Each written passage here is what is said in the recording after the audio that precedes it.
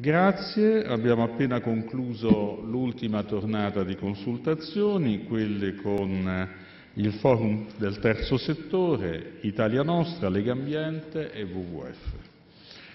Anche qui mh, abbiamo riscontrato eh, interesse, condivisione, apprezzamento, disponibilità a un lavoro di lunga lena per eh, il futuro del nostro Paese. Io darei subito la parola ai rappresentanti delle associazioni. Cominciamo con Italia Nostra, il coordinatore nazionale Emanuele Montini.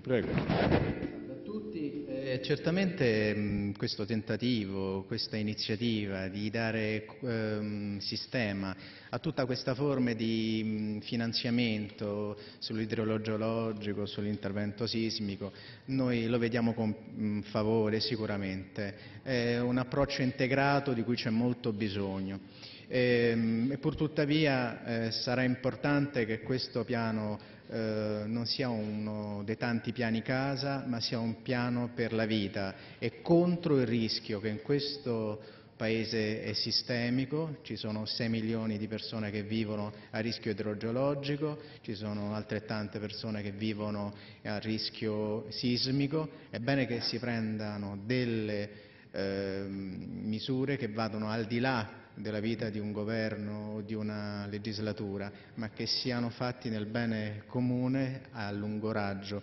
Per questo Italia Nostra è presente, ribadisce quanto ha sempre affermato per quanto riguarda eh, gli eventi sismici e eh, quelli ehm, idrogeologici, le sciagure che ciclicamente colpiscono il nostro Paese dicendo che bisogna superare la logica dell'emergenza, le logiche delle inaugurazioni entrare nella logica eh, della sicurezza preventiva e della manutenzione.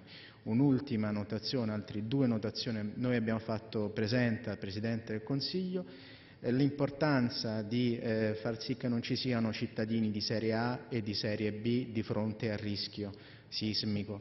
E questo è quello che succede nel Lazio, perché eh, ad esempio ci sono delle normative che prevedono il prelievo dei progetti per il controllo sulle asseverazioni dei privati che vogliono costruire le case solo sul massimo il 15% dei progetti. Stesso rischio, eh, sempre 1 e 2, in altre regioni invece il prelievo, il controllo dei progetti presentati dai privati è il 100% come in Umbria noi chiediamo che ci sia anche un intervento per uniformare le normative per far sì che appunto, queste discrepanze vengano cancellate. Grazie. Edoardo Zanchini, vicepresidente di Lega Ambiente. Sì, buongiorno. Eh, Intanto vi ringraziamo la Presidenza del Consiglio per questo invito e per questa possibilità. Noi ribadiamo quanto abbiamo già detto Presidente del Consiglio, c'è la nostra disponibilità a partecipare al tavolo tecnico, a partecipare agli approfondimenti, a dare il nostro contributo. Noi da, eh, da decenni come Lega ci occupiamo di eh, territorio, di dissesto, di prevenzione a 360 gradi. Io credo che uno degli aspetti interessanti di quanto abbiamo sentito questa mattina, che abbiamo capito qualcosa di più di cos'è Casa Italia, è che si focalizzerà soprattutto sulla prevenzione e sulla messa a sistema sistema di quanto si sta già facendo, che è fondamentale. Poi ci auguriamo ci sia anche qualche innovazione che venga introdotta, sia per il versante pubblico che per il versante privato. Nel versante pubblico in particolare perché non è ammissibile nel 2016, eh, dopo, matri- dopo, un terremoto come quello che eh, è avvenuto eh, qualche settimana fa, possano crollare il municipio, scuo- le scuole e l'ospedale eh, in Italia, in un, in un, comune che aveva un piano eh, della protezione civile che prevedeva in caso di eh, emergenze utilizzare quei tre edifici come edifici strategici per, eh, per partire con la ricostruzione. Eh, è chiaro quindi che c'è un problema dell'edilizia pubblica su cui bisogna lavorare in modo diverso dal passato dandosi le priorità e controllando, quindi ci vuole anche su questo molta attenzione a come si va a verificare e poi c'è il tutto il patrimonio eh, privato nelle zone a rischio sismico, eh, ma non solo, idrogeologico, eh, e anche qui c'è bisogno di un cambio di passo. Noi pensiamo che questa sia l'occasione con la legge di stabilità per dare certezza all'ecobonus per i prossimi anni e qui intervenire anche per fare delle innovazioni che permettano appunto anche agli incapienti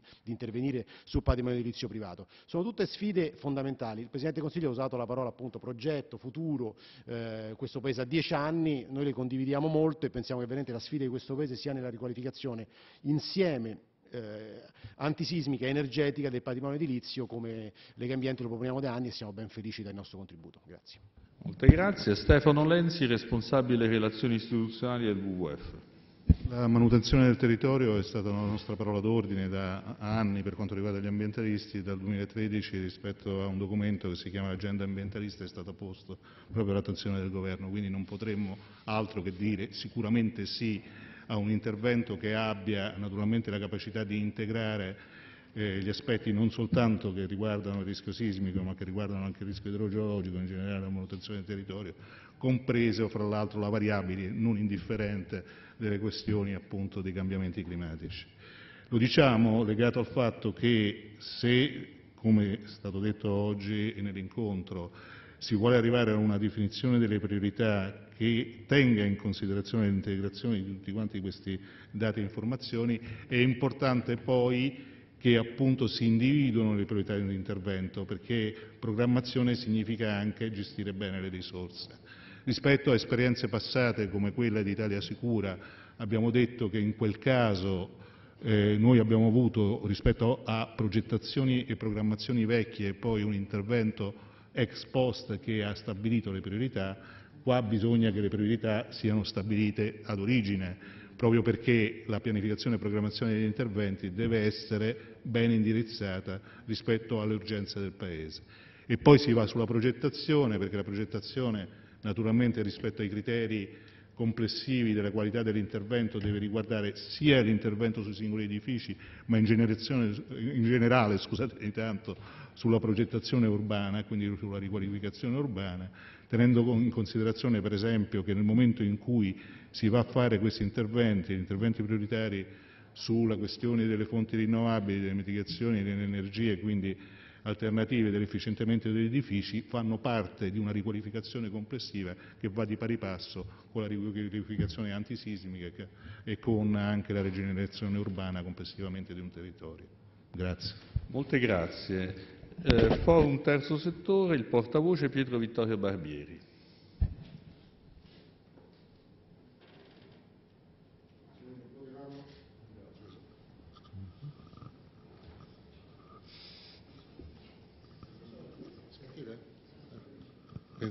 Ecco.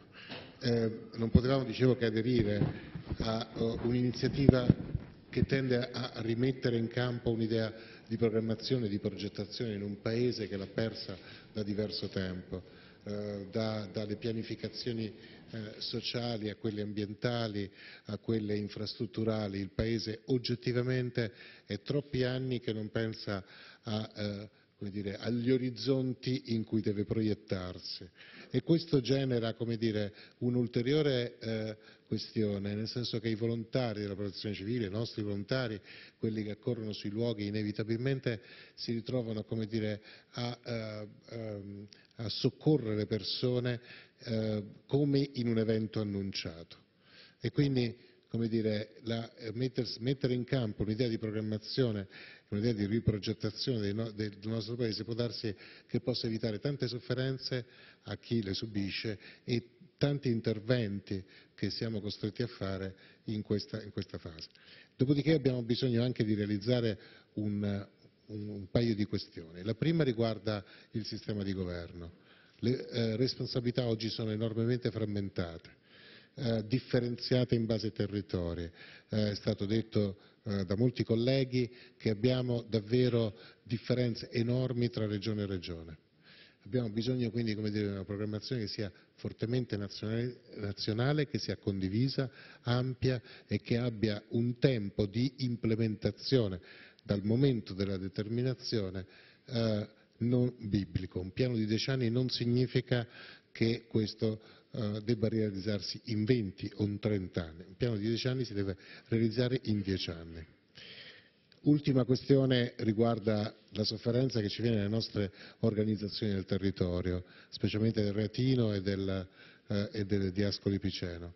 Ci viene segnalato in maniera molto forte che l'eco bonus eh, o i bonus, scusatemi, eh, sul, che sono finora stati erogati non hanno avuto grandissimo successo in virtù del fatto che non c'è una liquidità e non c'è eh, l'ammortizzazione diciamo, del costo eh, del, ehm, dell'intervento da un punto di vista finanziario e quindi con un prestito bancario. Abbiamo bisogno invece, i cittadini hanno bisogno di una liquidità e di un costo di quella liquidità che non sia enorme. Insomma un prestito bancario eh, eh, con forme agevolate piuttosto che un recupero eh, di, di, tassazione che avviene anch'esso in, in uno spazio molto più ampio. Quindi un'attenzione a questi meccanismi. Ultima questione è quella delle seconde case.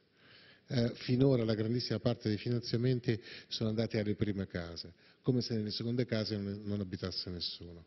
La realtà è che questo non accade e quindi inevitabilmente eh, abbiamo trovato eh, in questa in questo terremoto, in particolare in questo terremoto, ma solo in questo, anche persone che, hanno, che sono morte all'interno di quelle abitazioni o che hanno subito dei gravi danni personali, ehm, che eh, ehm, residevano in in una seconda abitazione. È chiaro che questo è un tema che va affrontato. Evidentemente con una priorità alle prime abitazioni, ma le seconde abitazioni non possono essere completamente escluse dall'intervento del piano decennale. Molte grazie. Questa era l'ultima tornata di consultazioni, eh, queste prime consultazioni che abbiamo avviato. Noi adesso, come già specificavamo sia con le associazioni qui presenti, sia con gli altri soggetti che sono intervenuti stamane, eh, procederemo sulla base della documentazione che ognuna delle associazioni ci farà pervenire avremo un'interazione diretta con, ogni soggetto che oggi è stato qui presente a Palazzo Chigi per arrivare a un ulteriore sviluppo del nostro lavoro con, in termini anche di un disegno più completo e operativo nelle prossime settimane. Grazie a tutti.